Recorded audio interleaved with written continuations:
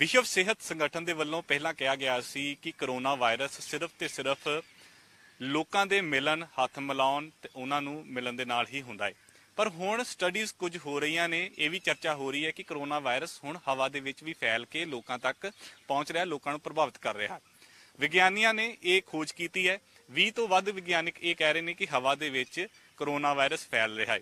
ਪਰ ਹੁਣ WHO ਨੇ ਇੱਕ ਨਵੀਂ ਸਟੱਡੀ ਕੀਤੀ ਹੈ, ਉਹਨਾਂ ਨੇ ਵੀ ਇੱਕ ਨਵੀਂ ਆਪਣੀਆਂ ਗੱਲਾਂ ਦੇ ਵਿੱਚ ਸੋਧ ਕੀਤੀ ਹੈ ਕਿ ਹਵਾ ਦੇ ਵਿੱਚ ਹੋ ਸਕਦਾ ਹੈ, ਪਰ ਕਿਹੜੀ ਹਵਾ ਦੇ ਵਿੱਚ ਹੋ ਸਕਦਾ ਹੈ? ਇਸ ਬਾਰੇ ਗੱਲਬਾਤ ਕਰਨ ਲਈ ਜਲੰਧਰ ਦੇ ਪਿਮਸ ਹਸਪੀਟਲ ਦੇ ਸੀਨੀਅਰ ਡਾਕਟਰ ਕੁਲਬੀਰ ਸ਼ਰਮਾ ਜੀ ਸਾਡੇ ਨਾਲ ਹੈਗੇ ਆ, ਉਹਨਾਂ ਨਾਲ ਗੱਲਬਾਤ ਕਰਦੇ ਆ ਕਿ ਕਿਹੜੀ ਹਵਾ ਦੇ ਵਿੱਚ ਹੋ ਸਕਦਾ ਹੈ ਅਤੇ ਹੋ ਵੀ ਸਕਦਾ ਹੈ ਜਾਂ ਫਿਰ ਨਹੀਂ, ਕੀ ਸਾਰੀ ਗੱਲਬਾਤ ਸਰ, ਸਭ ਤੋਂ ਪਹਿਲਾਂ ਤਾਂ ਇਹ ਦੱਸੋ ਕਿ ਜਿਹੜੀ ਹੁਣ ਚਰਚਾ ਚੱਲ ਰਹੀ ਹੈ ਕਿ ਕਰੋਨਾ ਵਾਇਰਸ ਹਵਾ ਦੇ ਵਿੱਚ ਫੈਲ ਸਕਦਾ ਹੈ, ਤਾਂ ਵਾਕਈ ਫੈਲ ਸਕਦਾ ਹੈ ਇਹ ਇਸ ਤਰ੍ਹਾਂ ਨਹੀਂ ਕਿ ਖੁੱਲੀ ਹਵਾ ਦੇ ਵਿੱਚ ਜਿਸ ਤਰ੍ਹਾਂ ਅਸੀਂ ਤੁਸੀਂ ਖੜੇ ਆ ਜੀ। ਤੇ ਇੱਥੇ ਡਾਇਰੈਕਟਲੀ ਇਸ ਤਰ੍ਹਾਂ ਨਹੀਂ ਫੈਲ ਸਕਦਾ। ਜਦ ਤੱਕ ਆਪਾਂ ਇਹ ਮਾਸਕ ਪਾ ਕੇ ਰੱਖਿਆ ਨਹੀਂ ਫੈਲ ਸਕਦਾ। ਜੀ। ਇਸ ਖੁੱਲੀ ਹਵਾ ਦੇ ਵਿੱਚ ਵੀ ਅਸੀਂ ਮਾਸਕ ਨਹੀਂ ਪਾਵਾਂਗੇ ਔਰ ਜੇ ਜਦੋਂ ਤੁਸੀਂ ਗੱਲਾਂ ਕਰੋਗੇ ਤੇ ਵਾਇਰਸ ਥੁੱਕ ਸਮੇਤ ਵਿੱਚੋਂ ਨਿਕਲ ਕੇ ਮੇਰੇ ਵੱਲ ਆਏਗਾ। ਜੀ। ਜੇ ਤੁਸੀਂ ਮਾਸਕ ਨਹੀਂ ਪਾਇਆ ਫਿਰ ਇਸ ਤਰ੍ਹਾਂ ਕਹਿ ਲਓ ਤੇ ਹਵਾ 'ਚ ਫੈਲ ਸਕਦਾ ਹੈ। ਹੂੰ ਹੂੰ ਹੂੰ। ਪਰ ਜੇ ਇਸ ਤਰ੍ਹਾਂ ਕਹਿ ਲਓ ਕਿ ਇੱਥੇ ਇੱਕ ਮਰੀਜ਼ ਖੜਾ ਹੈ ਉਹਨੇ ਮਾਸਕ ਨਹੀਂ ਪਾਇਆ ਤੇ ਉਹ 200 ਮੀਟਰ ਦੂਰ ਤੋਂ ਦੂਸਰਾ ਬੰਦਾ ਖੜਾ ਹੈ। ਤੇ ਉੜ ਕੇ ਹਵਾ 'ਚ 200 ਮੀਟਰ ਦੂਰ ਪਹੁੰਚ ਜਾਏਗਾ ਉਸ ਤਰ੍ਹਾਂ ਨਹੀਂ ਫੈਲਦਾ ਇਹ ਇਹ ਫੈਲਦਾ ਹੈਗਾ ਜਦੋਂ ਅਸੀਂ ਗੱਲ ਕਰਦੇ ਹਾਂ ਤੇ ਮੂੰਹ ਚੋਂ ਲਾਰ ਨਿਕਲਦੀ ਪਈ ਹੈ ਥੁੱਕ ਜੀ ਹਲਕੀ ਹਲਕੀ ਨਿਕਲਦੀ ਪਈ ਹੈ ਉਹਦੇ ਨਾਲ ਵਾਇਰਸ ਜਾ ਰਹੇ ਨੇ ਇਹ 1-2 ਮੀਟਰ ਦੂਰੀ ਤੱਕ ਜੇ ਮਾਸਕ ਨਹੀਂ ਪਾਇਆ ਤੇ ਜੀ ਜਾ ਸਕਦਾ। ਇਸ ਤਰ੍ਹਾਂ ਆਵਾਜ਼ ਫੈਲ ਸਕਦਾ। ਫਿਰ ਉਹੀ ਲਾਰ ਥੱਲੇ ਦਬ ਜਾਂਦੀ ਹੈ ਜਦੋਂ ਬੈਠ ਜਾਂਦੀ ਹੈ। ਜੀ। ਜੇ ਉਹ ਬੈਠ ਗਈ ਕਿਸੇ ਕੱਪੜੇ ਤੇ ਕਿਸੇ ਫਾਈਲ ਤੇ। ਕਿਸੇ ਹੋਰ ਚੀਜ਼ ਤੇ ਫਿਰ ਕਿਸੇ ਨੇ ਉਹਨੂੰ ਹੱਥ ਲਾ ਲਿਆ ਤੁਰੰਤ ਹੀ 15-20 ਮਿੰਟ ਦੇ ਅੰਦਰ ਅੰਦਰ ਹੀ। ਤੇ ਉਹ ਹੱਥ ਫਿਰ ਇਨਫੈਕਸ਼ਸ ਹੋ ਜਾਂਦਾ ਜੀ। ਤੇ ਉਹ ਹੱਥ ਫਿਰ ਨੱਕ ਨੂੰ ਲਾ ਲਓ ਜਾਂ ਅੱਖ ਨੂੰ ਲਾ ਲਓ ਤੇ ਫਿਰ ਉਹਦੇ ਨਾਲ ਇਹ ਫੈਲ ਸਕਦਾ ਇੱਕ ਬੰਦੇ ਤੋਂ ਦੂਸਰੇ ਬੰਦੇ ਨੂੰ। ਇਸ ਕਰਕੇ ਇਦਾਂ ਆਮ ਹਵਾ ਦੇ ਵਿੱਚ ਜੇ ਦੂਰੀ ਬਣਾ ਕੇ ਰੱਖੋ ਮਾਸਕ ਪਾ ਕੇ ਰੱਖੋ ਫਿਰ ਨਹੀਂ ਉਹ ਫੈਲ ਸਕਦਾ। ਬਿਲਕੁਲ ਇਹੀ ਕਲੈਰੀਫਿਕੇਸ਼ਨ ਲੈਣ ਦੇ ਲਈ ਅਸੀਂ ਤੁਹਾਡੇ ਕੋਲ ਪਹੁੰਚੇ ਕਿਉਂਕਿ ਲੋਕਾਂ ਦੇ ਵਿੱਚ ਸਹਿਮ ਦਾ ਮਾਹੌਲ ਵੀ ਆ ਗਿਆ ਜਦੋਂ WHO ਨੇ ਕਿਹਾ। ਹਾਲਾਂਕਿ ਉਹਨਾਂ ਨੇ ਇਹ ਕਿਹਾ ਕਿ ਭੀੜ ਵਾਲੇ ਇਲਾਕੇ ਦੇ ਵਿੱਚ ਜਾਂ ਇੱਕ ਕਮਰੇ ਦੇ ਵਿੱਚ ਬਹੁਤ ਜ਼ਿਆਦਾ ਜਾਣੇ ਆ ਤਾਂ ਉਹਦੇ ਵਿੱਚ ਕੋਈ ਇੱਕ ਪੋਜ਼ਿਟਿਵ ਮਰੀਜ਼ ਵਾਲਾ ਬੰਦਾ ਪਹੁੰਚ ਜਾਂਦਾ ਤਾਂ ਜੇ ਉਹ ਉੱਥੇ ਖੰਘਦਾ ਆ ਜਾਂ ਛਿੱਕਦਾ ਆ ਤਾਂ ਉਹ ਹਵਾ ਦੇ ਵਿੱਚ ਉਹਦੇ ਕਣ ਫੈਲ ਸਕਦੇ ਨੇ। ਤੇ ਬਿਲਕੁਲ ਠੀਕ ਗੱਲ ਕਹੀ ਹੈ ਖਾਸ ਤੌਰ ਸੇ ਜੇ ਉਹ ਖੰਗਦਾ ਹੈ ਤੇ ਉਹਨੇ ਮਾਸਕ ਨਹੀਂ ਲਾਇਆ ਹੋਇਆ। ਜੀ। ਜਦੋਂ ਮਾਸਕ ਲਾਇਆ ਹੋਵੇ ਫਿਰ ਚਾਂਸ ਬਹੁਤ ਘਟ ਜਾਂਦੇ ਨੇ। ਇਸ ਕਰਕੇ ਹੁਣ ਸਾਨੂੰ ਜਿਸ ਤਰ੍ਹਾਂ ਤੁਸੀਂ ਕਿਹਾ ਕਿ ਕਈ ਇਸ ਤਰ੍ਹਾਂ ਦੇ ਵੀ ਮਰੀਜ਼ ਹੁੰਦੇ ਨੇ ਜਿਹੜੇ ਬਿਮਾਰ ਨਹੀਂ ਹੈਗੇ। ਜੀ। ਜਿਨ੍ਹਾਂ ਨੂੰ ਬੁਖਾਰ ਆਣਾ ਸ਼ੁਰੂ ਨਹੀਂ ਹੋਇਆ ਜਿਹੜੇ ਆਪਣੇ ਵੱਲੋਂ ਆਪਣੇ ਆਪ ਨੂੰ ਸਵਸਥ ਹੀ ਮਹਿਸੂਸ ਕਰਦੇ ਨੇ ਜਿਹਨੂੰ ਆਪਾਂ ਏਸਿਮਟੋਮੈਟਿਕ ਕਹਿੰਦੇ ਹੁੰਦੇ ਆ ਜੀ। ਤੇ ਉਹ ਮਰੀਜ਼ ਜੇ ਕਿਸੇ ਐਸੀ ਜਗ੍ਹਾ ਹੋਣ। ਜਿੱਥੇ ਹੋਰ ਵੀ ਕਈ ਲੋਕੀ ਹੈਗੇ ਨੇ ਔਰ ਉਹਨੇ ਮਾਸਕ ਨਹੀਂ ਪਾਇਆ ਉਹ ਦੂਸਰਿਆਂ ਨੂੰ ਫੈਲਾ ਸਕਦਾ ਹੈ 2 ਮੀਟਰ ਦੇ ਅੰਦਰ ਅੰਦਰ। ਹੂੰ ਹੂੰ ਦੋ ਮਤਲਬ ਜਿਹੜੇ ਵੀ ਗੱਲ ਕਰਦਾ ਜਿਸ ਤਰ੍ਹਾਂ ਅਸੀਂ ਗੱਲ ਕਰਦੇ ਪਏ ਦੋਨੋਂ। ਜੇ ਅਸੀਂ ਮਾਸਕ ਨਹੀਂ ਪਾਇਆ ਹੋਵੇ ਸਾਡੇ ਦੋਨਾਂ ਚੋਂ ਅਗਰ ਕੋਈ ਹੈਗਾ ਕੋਵਿਡ ਦਾ ਮਰੀਜ਼ ਤੇ ਇੱਕ ਦੂਸਰੇ ਨੂੰ ਹੋ ਸਕਦਾ ਹੂੰ।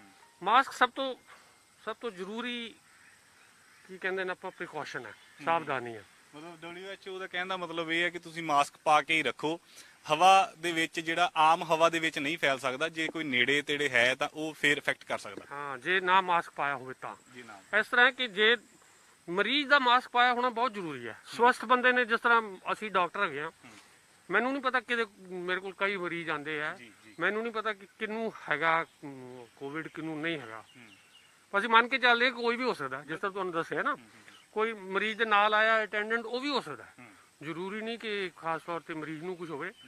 ਉਹ ਵੀ ਏਸਿਮਟੋਮੈਟਿਕ ਜਿਸ ਤਰ੍ਹਾਂ ਮੈਂ ਹੁਣ ਤੁਹਾਨੂੰ ਦੱਸਿਆ ਹੋ ਸਕਦਾ ਉਹ ਵੀ ਹੋ ਸਕਦਾ ਹੈ। ਅਸੀਂ ਆਪਣੇ ਪ੍ਰੋਟੈਕਸ਼ਨ ਵਾਸਤੇ ਤਾਂ ਮਾਸਕ ਪਾਇਆ ਹੀ ਪਾਇਆ। ਪਰ ਉਹ ਸਾਡੇ ਤੋਂ ਜ਼ਿਆਦਾ ਜ਼ਰੂਰੀ ਹੈ ਕਿ ਦੂਸਰੇ ਬੰਦੇ ਨੇ ਮਾਸਕ ਪਾਇਆ ਹੋਵੇ ਜਿਹਨੂੰ ਇਹ ਹੈਗਾ ਕੋਵਿਡ ਮੰਨ ਕੇ ਚੱਲ ਹਾਂ। ਕਿਤੇ ਵੀ ਛੱਡ ਸਕਦਾ ਜੇ ਕੋਈ। ਕਿੱਥੇ ਛੱਡ ਸਕਦਾ। ਕਿਉਂਕਿ ਪਤਾ ਨਹੀਂ ਕਿਹਨੂੰ ਹੈਗਾ ਕਿਹਨੂੰ ਨਹੀਂ ਹੈਗਾ। ਇਸ ਕਰਕੇ ਆਮ ਧਾਰਨਾ ਕਿ ਸਾਰਿਆਂ ਨੇ ਹੀ ਮਾਸਕ ਪਾਣਾ ਹੈ। ਜਦੋਂ ਬਾਹਰ ਨਿਕਲਣਾ ਮਾਸਕ ਪਾ ਕੇ ਹੀ ਨਿਕਲਣਾ ਨਹੀਂ ਤੇ ਬਾਹਰ ਨਹੀਂ ਆਣਾ। ਇਹੀ ਤਰੀਕਾ ਇਸ ਤੋਂ ਬਚਣ ਦਾ। ਤੁਹਾਡੇ ਵੀ ਐਕਸਪੀਰੀਅੰਸ ਦੇ ਹਿਸਾਬ ਨਾਲ ਤੁਸੀਂ ਕੀ ਦੇਖ ਰਹੇ ਹੋ ਇਸ ਬਿਮਾਰੀ ਨੂੰ ਕਿਵੇਂ ਦੇਖ ਰਹੇ ਹੋ? ਕਿਉਂਕਿ ਲਗਾਤਾਰ ਵੱਧਦੀ ਜਾ ਰਹੀ ਹੈ। ਕੁਝ ਕਹਿ ਰਹੇ ਕਿ ਸਤੰਬਰ 'ਚ ਪੀਕ ਆਊਗਾ ਇਹਦਾ। ਕੁਝ ਕਹਿ ਰਹੇ ਨੇ ਕਿ ਸਾਲ ਹੀ ਸਾਰਾ ਲੈ ਜਾਊਗਾ। ਕੁਝ ਕਹਿੰਦਾ ਸੀ ਕਿ ਜੁਲਾਈ ਦੇ ਵਿੱਚ ਪੀਕ ਹੋਊਗਾ। ਤੁਹਾਡੀ ਕੀ ਐਨਾਲਿਸਿਸ ਕੀ ਹੈ? ਤੁਸੀਂ ਕੀ ਕਹਿੰਦੇ ਹੋ? ਦੇਖੋ ਇਹ ਨਵੀਂ ਬਿਮਾਰੀ ਨਿਕਲੀ ਹੈ। ਇਸ ਬਾਰੇ ਕਿਸੇ ਨੂੰ ਪੂਰੀ ਤਰ੍ਹਾਂ ਪਤਾ ਨਹੀਂ ਹੈਗਾ। ਜੀ। ਇਹ ਕਦੋਂ ਪੀਕ ਆਊਗਾ ਕਦੋਂ ਹਰਡ ਇਮਿਊਨਿਟੀ ਬੋਲਦੇ ਨੇ ਇਹਨੂੰ ਕਿ ਕਾਫੀ ਅੱਧੇ ਤੋਂ ਜ਼ਿਆਦਾ ਲੋਕਾਂ ਨੂੰ ਇਹ ਹੋ ਚੁੱਕੀ ਹੈ। ਜੀ। ਉਹਨਾਂ ਅੰਦਰ ਇਮਿਊਨਿਟੀ ਆ ਜਾਂਦੀ ਹੈ ਫਿਰ ਫੈਲਣ ਦੇ ਚਾਂਸ ਘਟ ਜਾਂਦੇ ਨੇ। ਉਹ ਵੀ ਕਦੋਂ ਆਊਗਾ ਕੁਝ ਪੂਰੀ ਤਰ੍ਹਾਂ ਕਹਿ ਨਹੀਂ ਸਕਦੇ ਇਹ ਤਾਂ ਸਮਾਂ ਹੀ ਦੱਸੂਗਾ ਕਿ ਕਦੋਂ ਹੋਊਗਾ ਕਦੋਂ ਨਹੀਂ ਹੋਊਗਾ। ਪਰ ਇੱਕ ਗੱਲ ਪੱਕੀ ਹੈ ਬਚਣਾ ਹੈ ਤੇ ਅਸੀਂ ਸਾਰਿਆਂ ਨੇ ਮਾਸਕ ਪਾਉਣਾ ਬਹੁਤ ਜ਼ਰੂਰੀ ਹੈ। ਇਸ ਤੋਂ ਬਿਨਾ ਬਚਾ ਨਹੀਂ ਹੈਗਾ ਜੀ। ਕੁਝ ਕੇਸ ਜਲੰਧਰ ਦੇ ਵਿੱਚ ਅਜਿਹੇ ਵੀ ਦੇਖੇ ਕਿ ਨੌਜਵਾਨਾਂ ਦੀਆਂ ਵੀ ਕਈਆਂ ਦੀਆਂ ਮੌਤਾਂ ਹੋਈਆਂ ਨੇ। ਇੱਕ ਲੇਡੀ ਸੀਗੇ 24 ਸਾਲਾਂ ਦੇ ਲੜਕੀ ਸੀਗੀ ਉਹਦੀ ਮੌਤ ਹੋਈ। ਤਾਂ ਉਹਦੇ ਅੰਦਰ ਕੋਈ ਪਹਿਲਾਂ ਬਿਮਾਰੀ ਨਹੀਂ ਸੀ। ਤੇ ਇਹ ਕੀ ਕਾਰਨ ਹੋਊਗਾ ਕਿ ਇਹ ਜ਼ਿਆਦਾ ਸਟਰੋਂਗ ਹੋ ਰਿਹਾ ਦਿਨੋਂ ਦਿਨ ਕਿ ਜਾਂ ਫਿਰ ਇਹ ਤੁਹਾਡੀ ਸਟੱਡੀ ਕੀ ਕਹਿੰਦੀ ਹੈ ਇਸ ਦੇ ਉੱਪਰ? ਨਹੀਂ ਜਿੱਦਾਂ ਅਗਰ ਸਾਰੀ ਦੁਨੀਆ ਦਾ ਡਾਟਾ ਦੇਖੀਏ। ਤੇ ਸਾਡੇ ਕੋਲ ਹਿੰਦੁਸਤਾਨ ਦੇ ਵਿੱਚ ਇੰਡੀਆ ਦੇ ਵਿੱਚ ਤਾਂ ਵੀ ਆਰ ਲਿਟਲ ਬੈਟਰ ਦੂਸਰੇ ਨਾਲੋਂ ਅਸੀਂ ਚੰਗੇ ਆ ਜੀ ਜੀ ਐਦਾਂ ਲੱਗਦਾ ਜਾਂ ਤੇ ਸਾਡੀ ਇਮਿਊਨਿਟੀ ਦੂਸਰੇ ਨਾਲੋਂ ਚੰਗੀ ਹੈ। ਜਾਂ ਵਾਇਰਸ ਇੱਥੇ ਆ ਕੇ ਥੋੜਾ ਕਮਜ਼ੋਰ ਹੋ ਗਿਆ ਦੂਰੀ ਦੁਨੀਆ ਦੇ ਬਾਕੀ ਦੇਸ਼ਾਂ ਦੇ ਮੁਕਾਬਲੇ ਦੇ ਵਿੱਚ ਤਾਂ ਭਾਰਤ ਥੋੜਾ ਠੀਕ ਹੀ ਹੈ। ਜੀ। ਪਰ ਫਿਰ ਵੀ ਕਿਉਂਕਿ ਸਾਡੀ ਮੰਨ ਲਓ ਕਿ ਜਿੱਦਾਂ ਮਰਨ ਦੀ ਡੈਥ ਦੀ ਪਰਸੈਂਟੇਜ ਹੈਗੀ ਹੈ। ਸਾਡੇ ਇੱਥੇ 3% ਦੇ ਆਸ-ਪਾਸ ਨੇ ਬਾਹਰ ਜ਼ਿਆਦਾ ਹੈ। ਜੀ ਜੀ। ਤੇ 3% ਮਤਲਬ 100 ਦੇ ਵਿੱਚੋਂ ਸਿਰਫ 3 ਦੀ ਡੈਥ ਹੋਣੀ ਹੈ। ਤੁਸੀਂ ਕਿਹਾ ਜਿੱਦਾਂ ਡੈਥ ਹੋ ਗਈ ਆ ਜਿਹਨੂੰ ਪਹਿਲਾਂ ਕੋਈ ਬਿਮਾਰੀ ਨਹੀਂ ਸੀ ਉਹਦੀ ਵੀ ਡੈਥ ਹੋ ਗਈ ਆ। ਉਹ ਜ਼ਿਆਦਾਤਰ ਡੈਥ ਹੁੰਦੀਆਂ ਨੇ ਜਿਨ੍ਹਾਂ ਨੂੰ ਪਹਿਲਾਂ ਹੋਰ ਦੂਸਰੀਆਂ ਬਿਮਾਰੀਆਂ ਨੇ ਜਾਂ ਉਮਰ 60 ਤੋਂ ਉੱਤੇ ਗਈ ਹੈ। ਜੀ ਜੀ। ਪਰ ਫਿਰ ਵੀ ਦੂਸਰੇ ਨੂੰ ਵੀ ਹੋ ਸਕਦੀ ਹੈ। ਸਾਨੂੰ ਹਿੰਦੁਸਤਾਨ 'ਚ ਡਰ ਹੈ ਕਿ ਸਾਡੀ ਆਬਾਦੀ ਇੰਨੀ ਹੈ ਕਿ 3% ਦੇ ਵੀ ਅਸੀਂ ਕਿੰਨੇ ਹੀ ਬਣ ਜਾਣੇ ਆ ਬਿਲਕੁਲ। ਸਾਡਾ ਮੇਨ ਡਰ ਸਾਡਾ ਇਹੀ ਹੈ ਕਿ ਆਬਾਦੀ ਇੰਨੀ ਹੈ ਭਾਵੇਂ ਸਾਡੀ ਪਰਸੈਂਟੇਜ ਮੋਰਟੈਲਿਟੀ ਲੋ ਹੀ ਹੈ। ਮਰਨ ਵਾਲਿਆਂ ਦੀ ਪਰਸੈਂਟੇਜ ਘੱਟ ਆ ਪਰ ਕੁੱਲ ਨੰਬਰ ਸੰਖਿਆ ਇੰਨੀ ਜ਼ਿਆਦਾ ਹੋ ਜਾਣੀ ਹੈ। ਕਿਉਂਕਿ ਆਬਾਦੀ ਬਹੁਤ ਜ਼ਿਆਦਾ ਹੈ। ਬਿਲਕੁਲ। ਡਾਕਟਰਸ ਇਸ ਬਿਮਾਰੀ ਨੂੰ ਕਿਸ ਤਰੀਕੇ ਨਾਲ ਦੇਖ ਰਹੇ ਨੇ? ਕਿਉਂਕਿ ਤੁਹਾਡਾ ਨਜ਼ਰੀਆ ਕੁਝ ਹੋਰ ਆ ਕਿਉਂਕਿ ਤੁਸੀਂ ਇਹ ਬਿਮਾਰੀਆਂ ਦੇ ਨਾਲ ਨਜਿੱਠਦੇ ਹੋ ਫਰੰਟ ਲਾਈਨ ਦੇ ਉੱਪਰ ਤੁਸੀਂ ਲੜ ਰਹੇ ਹੋ। ਤੁਸੀਂ ਇਸ ਨੂੰ ਕਿਸ ਨਜ਼ਰੀਏ ਨਾਲ ਦੇਖ ਰਹੇ ਹੋ? ਕਹਿੰਦੇ ਕਿ 100 ਸਾਲ ਬਾਅਦ ਇਹ ਬਿਮਾਰੀ ਅਜਿਹੀ ਆਈ ਆ ਤਾਂ ਉਹਨੇ ਬਹੁਤ ਨੁਕਸਾਨ ਕੀਤਾ ਸੀ। ਕੋਈ ਲੱਗਦਾ ਕਿ ਇੰਨੀ ਸਟਰੋਂਗ ਉਹ ਜਿੰਨੀ ਪਹਿਲੀ ਸੀਗੀ ਇਹੀ ਉਨੀ ਸਟਰੋਂਗ ਹੈ? ਨਹੀਂ ਦੇਖਣ ਤਾਂ ਉਨੀ ਸਟਰੋਂਗ ਲੱਗਦੀ ਹੈ। ਜੀ। ਬਟ 100 ਸਾਲ ਪਹਿਲਾਂ ਸਾਡੇ ਕੋਲ ਇੰਨੇ ਸਾਇੰਟੀਫਿਕ ਇਕਵਿਪਮੈਂਟ ਨਹੀਂ ਸੀਗੇ। ਇੰਨੇ ਸਾਧਨ ਨਹੀਂ ਸੀਗੇ। ਹੁਣ ਸਾਡੇ ਕੋਲ ਸਾਧਨ ਜ਼ਿਆਦਾ ਨੇ ਨੌਲੇਜ ਜ਼ਿਆਦਾ ਹੈ ਐਕਸਪੀਰੀਅੰਸ ਜ਼ਿਆਦਾ ਹੈ।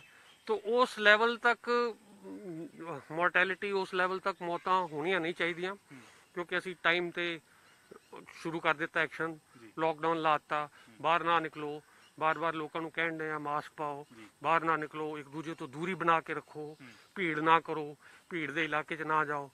ਤੇ ਉਮੀਦ ਤਾਂ ਹੈਗਾ ਕਿ ਉਹਨਾਂ ਖਤਰਨਾਕ ਨਹੀਂ ਹੋਊਗਾ, ਜਿੰਨਾ 100 ਸਾਲ ਪਹਿਲਾਂ ਵਾਲਾ ਫਰਾਂਸ 'ਚ ਹੋਇਆ ਸੀਗਾ ਉਹਨਾਂ ਨਹੀਂ ਹੋਇਆ। ਮੈਂ ਫਿਰ ਘੁਮਾ ਕੇ ਆਪਣੀ ਪਹਿਲੀ ਗੱਲ ਤੇ ਲੈ ਕੇ ਆਉਣਾ ਕਿ ਜਿਵੇਂ ਹਵਾ ਦੀ ਗੱਲ ਕਹੀ ਸੀ ਕਿ ਆਮ ਹਵਾ ਦੇ ਵਿੱਚ ਉਹਦੇ ਲੋਕੀ ਡਰ ਗਏ ਕਿ ਸ਼ਾਇਦ ਆਮ ਹਵਾ ਦੇ ਵਿੱਚ ਹੀ ਇਹ ਸਭ ਕੁਝ ਹੋ ਜਾਊਗਾ। ਤੇ ਜਿਹੜੀਆਂ WHO ਦੀਆਂ ਜਿਹੜੀਆਂ ਗਾਈਡਲਾਈਨਸ ਉਹ ਹੋਰ ਕਹਿੰਦੀਆਂ ਨੇ। ਲੋਕਾਂ ਨੂੰ ਕੀ ਮੈਸੇਜ ਦੇਣਾ ਚਾਹੁੰਦੇ ਹੋ ਤੁਸੀਂ ਕਿ ਲੋਕ ਇੰਨਾ ਨਾ ਡਰਨ? ਕਿਉਂਕਿ ਕਈ ਲੋਕਾਂ ਦੇ ਮਨਾਂ ਦੇ ਵਿੱਚ ਇਹ ਗੱਲ ਬਹਿ ਗਈ ਕਿ ਅਸੀਂ ਹੁਣ ਜੇ ਬਾਹਰ ਨਿਕਲਾਂਗੇ ਤੇ ਸ਼ਾਇਦ ਸਾਨੂੰ ਵੀ ਹੋ ਜਾਊਗੀ ਹਵਾ ਦੇ ਵਿੱਚ ਇਹ ਫੈਲ ਗਿਆ। ਲੋਕਾਂ ਲਈ ਕੀ ਮੈਸੇਜ ਦੇਣਾ ਚਾਹੁੰਦੇ ਤੁਸੀਂ? ਲੋਕਾਂ ਨੂੰ ਤੇ ਅਸੀਂ ਕਹਾਂਗੇ ਤੁਸੀਂ ਆਪਣੀ ਸਾਵਧਾਨੀਆਂ ਵਰਤੋ। ਬਾਹਰ ਜਿੱਥੋਂ ਤੱਕ ਹੋ ਸਕੇ ਬਾਹਰ ਨਿਕਲੋ ਹੀ ਨਹੀਂ। ਜੀ ਜੀ। ਅੰਦਰ ਹੀ ਰਹੋ। ਜੇ ਕੰਮ ਇਹੋ ਜਿਹਾ ਹੋਗਾ ਕਿ ਬਾਹਰ ਨਿਕਲਣਾ ਹੀ ਪੈਣਾ ਫੇਰ ਹੀ ਜਾਓ ਬਾਹਰ। ਦੂਸਰਾ ਜਦੋਂ ਬਾਹਰ ਨਿਕਲੋ ਭੀੜ ਭੜੱਕੇ ਤੋਂ ਬਚ ਕੇ ਰਹੋ। ਭੀੜ ਵਾਲੇ ਇਲਾਕੇ 'ਚ ਨਾ ਜਾਓ। ਮਾਸਕ ਹਮੇਸ਼ਾ ਪਾ ਕੇ ਰੱਖੋ। ਬਗੈਰ ਔਰ ਮਾਸਕ ਠੀਕ ਤਰ੍ਹਾਂ ਪਾਓ। ਤੁਸੀਂ ਦੇਖਿਆ ਹੋਣਾ ਕਈ ਜਗ੍ਹਾ ਐਦਾਂ ਲਟਕਾ ਕੇ ਚੱਲਣ ਦੇ ਨੇ ਐਦਾਂ ਮਾਸਕ ਇਹ ਗਲਤ ਹੈ। Not this this is not correct ਨੱਕ ਕਵਰ ਹੋਵੇ ਜੀ। ਟਾਈਟ ਹੋਵੇ ਜੀ। ਮੂੰਹ ਕਵਰ ਹੋਵੇ ਤਾਂ ਹੀ ਮਾਸਕ ਦਾ ਫਾਇਦਾ ਹੈ। ਤਾਂ ਹੀ ਪ੍ਰੋਟੈਕਸ਼ਨ ਮਿਲੇਗੀ ਦੂਜੇ ਤੋਂ। ਔਰ ਆਬਵੀਅਸਲੀ ਜਿਸ ਤਰ੍ਹਾਂ ਮੈਂ ਪਹਿਲਾਂ ਦੱਸਿਆ ਜੇ ਜਿਹਨੂੰ ਜੇ ਕਿਸੇ ਨੂੰ ਹੈਗਾ ਵੀ ਹੈ ਕੋਵਿਡ ਉਹਨੇ ਵੀ ਮਾਸਕ ਪਾਇਆ ਤੁਸੀਂ ਵੀ ਮਾਸਕ ਪਾਇਆ ਫਿਰ ਭਾਵੇਂ 2 ਮੀਟਰ ਤੋਂ ਨੇੜੇ ਵੀ ਥੋੜੇ ਆ ਜਾਈਏ ਫਿਰ ਵੀ ਕੋਈ ਡਰਨ ਵਾਲੀ ਗੱਲ ਨਹੀਂ ਹੈਗੀ। ਸਿਰਫ 1.5% ਚਾਂਸ ਰਹਿ ਜਾਂਦਾ ਹੈ ਦੋ- ਅਗਰ ਦੋਵਾਂ ਨੇ ਮਾਸਕ ਪਾਇਆ ਹੋਵੇ। ਜੇ ਮਰੀਜ਼ ਨੇ ਮਾਸਕ ਨਹੀਂ ਪਾਇਆ ਤੁਸੀਂ ਪਾਇਆ ਫਿਰ ਵੀ ਬਹੁਤ 10% ਚਾਂਸ ਹੈਗੇ ਆ। ਠੀਕ ਹੈ ਨਾ? ਤੇ ਦੋਵਾਂ ਨੇ ਪਾਇਆ ਹੋਵੇ ਤਾਂ ਬਹੁਤ ਘੱਟ ਚਾਂਸ ਹੈ। ਕਿ ਬਿਲਕੁਲ ਕੁੱਲ ਮਿਲਾ ਕੇ ਮਾਸਕ ਪ੍ਰੋਟੈਕਸ਼ਨ ਜਿਹੜੀ ਆਪਣੀ ਤੁਸੀਂ ਆਪਣਾ ਉਹ ਪ੍ਰੀਕਾਸ਼ਨਸ ਜਿਹੜੇ ਆ ਜਰੂਰ ਲੈ ਕੇ ਨਿਕਲੋ ਜੇ ਬਾਹਰ ਨਿਕਲਣਾ ਹੈ।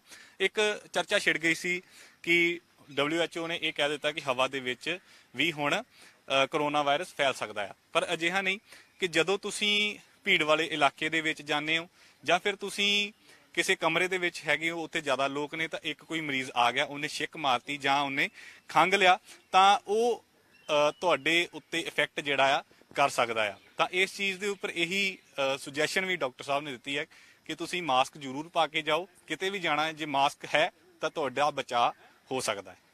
ਕੈਮਰਾਮੈਨ ਮਨੀਸ਼ ਦੇ ਨਾਲ ਮਨਦੀਪ ਸਿੰਘ, ਡੇਲੀ ਪੋਸਟ ਪੰਜਾਬੀ, ਜਲੰਧਰ।